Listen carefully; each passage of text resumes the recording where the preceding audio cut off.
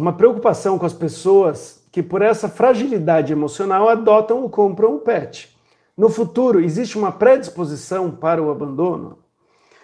Olha, é, eu não tenho dúvida que, que, infelizmente, muita gente vai abandonar seus pets, tá? Eu não tenho dúvida. Por quê?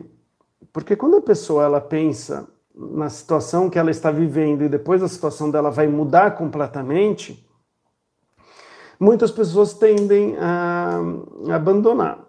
E isso é muito, muito triste, muito chato, né?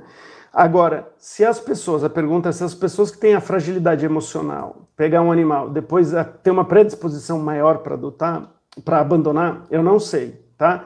E eu suspeitaria que não, que não, tá? Eu, porque uma pessoa que só está entediada, não tem a fragilidade emocional e pega um cachorro, ela pode abandonar também depois. Né? Agora, uma coisa eu digo: se ela tiver um relacionamento muito próximo, muito saudável, muito legal, e esse cachorro se comportar quando a pessoa voltar ao trabalho, né, não, não causar problemas demais para essa pessoa, não por culpa do cachorro, né, uh, existe uma menor chance dela ser, de ser abandonada, tá?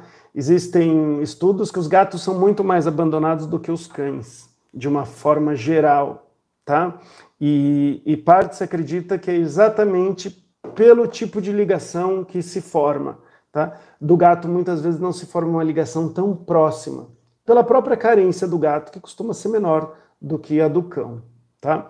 Então, quanto mais a pessoa conseguir é, trazer para o dia a dia dela o cachorro, com os cuidados para depois o cachorro conseguir ficar sozinho, melhor em relação à segurança desse relacionamento. Quer dizer que esse relacionamento, quando ela voltar para o trabalho, vai ter uma chance menor desse cachorro ser abandonado, tá?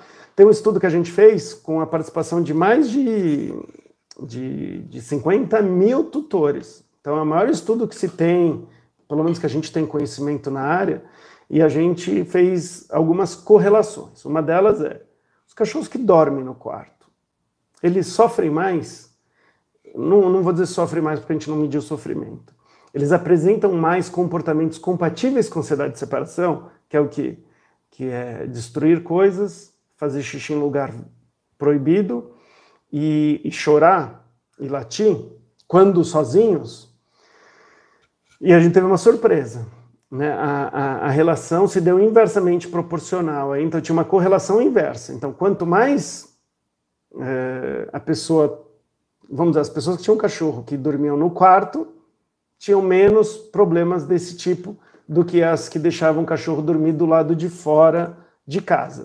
E quem deixava o cachorro dormir no quarto tinha menos problema do que quem deixava dormir dentro de casa. Né? Ou seja, essa relação de que porque o cão dorme no quarto, ele vai destruir e vai latir e chorar muito quando ele ficar sozinho, não é tão certeza assim. Nosso estudo mostrou uma relação contrária. Né? Agora, se isso é causa e efeito, a gente não sabe, porque a gente não fez um estudo randômico, randomizado, a gente não tomou, uh, a gente não decidiu, ó, você começa a dormir você deixa o cachorro dormir no quarto, você não deixa. Sortear e pedir para as pessoas fazerem isso, né? Esse tipo de controle uh, a gente não fez. Então não dá para saber que uma coisa é causa e efeito da outra.